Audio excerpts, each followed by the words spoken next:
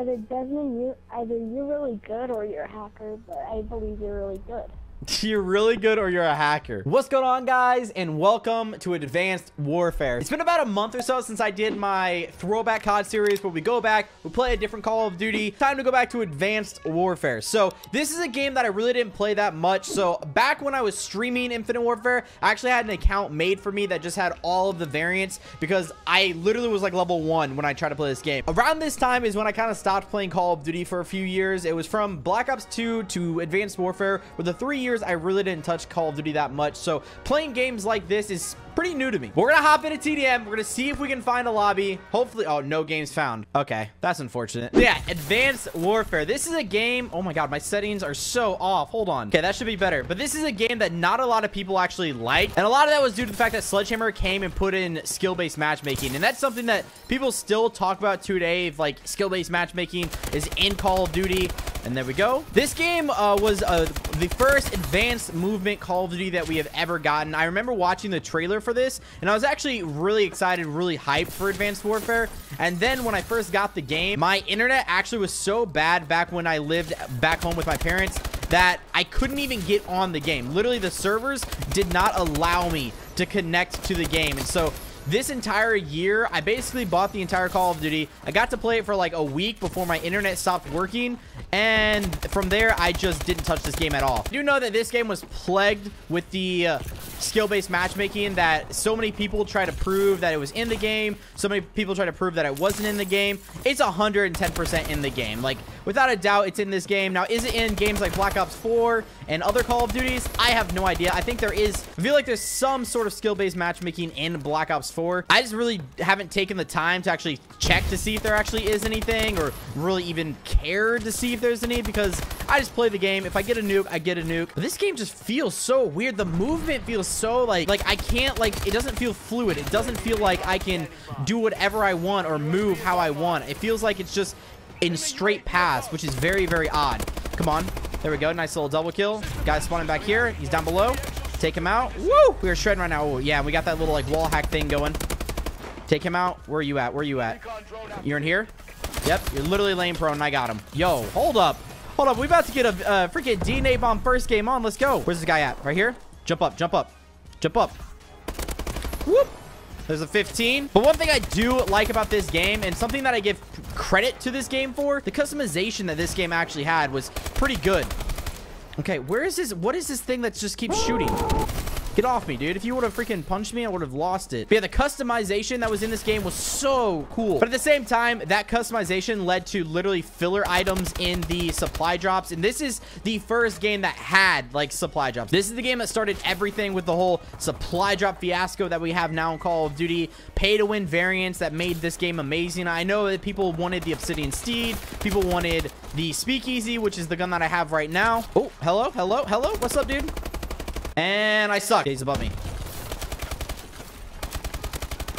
Get beamed, buddy. Do you know that this game, there is one good thing that this game actually did which I'm kind of shocked that other Call of Duties haven't done this. So when you were to hit Master Prestige in this game, I don't know what the exact variants were, but I do know that if you got to, I think it's like 15th Prestige, they literally give you a variant. They give you like, I believe it was the Obsidian Steed was one of them. I'm not sure if the Speakeasy was another one, but I do know that literally for hitting Prestige Master, Grandmaster, whatever it's called, you actually got free variants. Free! And they weren't just like some bogus random variant that nobody wanted. It was the variant that people actually wanted in the game. You know, variants that were took forever. The only issue with this, I'd say, is the fact that, you know, Oh my gosh, he almost he almost got me. It would suck to, you know, pull it through a supply drop and then literally get get it. And I literally just died on a brutal. I literally just died on a brutal. I'm such a dude. I can't escape it. Even on uh, other Call of Duties, even on Advanced Warfare, I can't escape me choking left and right. Oh my god. oh my god, I put that heavy shield on. You're gone. So are you. Come on. Let me keep it going. Come on, peek it. And you. Let's go. Yo, I'm shredding. Oh, free kill. He's staying still. Please don't spawn behind me. That's all I'm asking. Oh, they're spawning behind me. Woo! Get out of my face. Spawn over here. I'll take him out. I, I need no no no no no no no I'm running I'm running I'm running I'm running. Don't touch me don't touch me. Oh no they they're guys over here. This guy's over here. Oh my god my shot. Spawn behind. Is he back there? Got him holy shit I'm shredded. Oh I'm having so much fun on this. UAV up. Okay I kind of want to push but at the same time I don't because I'm kind of scared. The ADSing in this game is super slow. Like compared to other CODs it's like when I ADS I am super slow. Okay we're going this way. I'm done I ain't playing no games. There's one kill. Boom. Fizzy Pop. Pretty sure this is the map that a lot of people were saying in World War II. I believe it was called Valkyrie. That they literally just copy and pasted Valkyrie into this map, which I can see it. Valkyrie was a little bit bigger, but let's go over here. Let's go right there. This is like literally my favorite weapon in the game was the MP11. If you guys played Advanced Warfare, if you guys played it a lot, let me know what was your guys' favorite weapon in the game. When I did play it, I do remember using literally this weapon right here, the MP11. And I remember the Goliath variant was like one of the best variants for this gun. Let's go over here. All right, there's a guy right there. Got mid-map. Can't get him. Where's this guy at? Take you out. Slide. Hello. Got a supply drop. What you know? What you know about that, bro? I kind of wish that Black Ops 4 would kind of do that. I wish that we would play random games and we could get them at random, or like we could get supply drops at random times during the game. I think that would be really cool and just another easy way for us to get some drops. You're dead. Walk around. Hello? And you? And you? Hit the reload. Come on, they're spawning. Yep. Why are you camping, bro? There's a guy right there. You're dead. I'm dead. I'm dead. I'm dead. Oh, let me run. Get off me. He has a sniper. What are you doing? Oh my gosh. Woo! Even though a lot of these weapons were like OP and it was pay to win because of the supply drops, Infinite Warfare, or Advanced Warfare, I keep saying Infinite Warfare, um, Advanced Warfare had so many cool weapons out of this game. You know, they had the blunderbuss, which was really cool, and then they brought that back into World War II, and then they had also this lever action, which once again was brought back. Let's face it, a lot of weapons in World War II, or just a lot of weapons in Call of Duty in general, get recycled, which kind of sucks because I wish they would just come out with some new weapons, some new creative weapons that we haven't seen. But when Call of Duty has been done so many times as it has been, it's a little bit difficult for that. Okay, where is this guy's right up here? What are you doing? There's the UAV that's going to come in clutch, and hopefully we can drop something here. Yeah, right here. Yeah, get off me, dude. Woo, you're deleted. Hit the reload. Oh, behind me. Don't snipe me. Woo! This game does just feel fast too. Like even though the, in my opinion, the movement's a bit clunkier compared to other like jetpacking and boots and that. What? Are, what are these guys doing? What are you doing, bros? Like seriously? Then we got two over here. What are you guys doing? Why are we camping?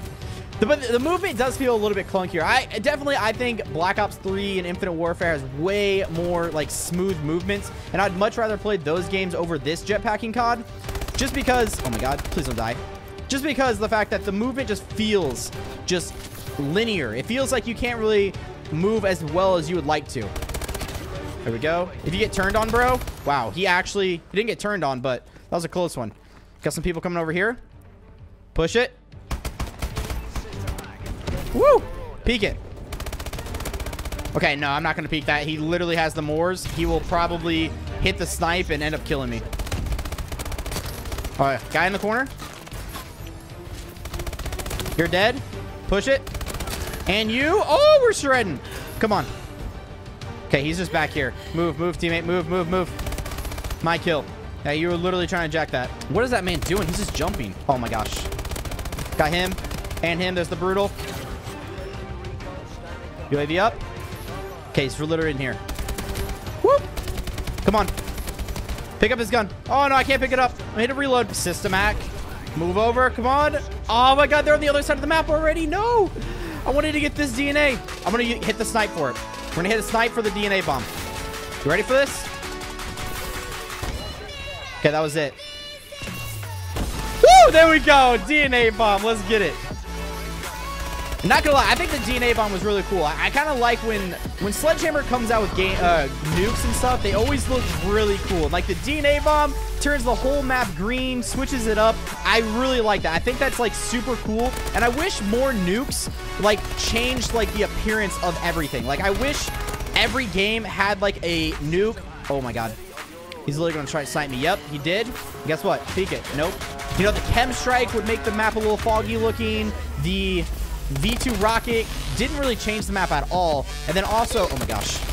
And then also, oh my god, there's more. And the, what was it?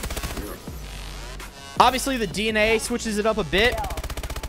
And, I'm confused. wow. You just launched a Metaphor attack. I've only seen two of those ever since I started playing this game. Either Dysmo, you either you're really good or you're a hacker, but I believe you're really good. You're really good or you're a hacker.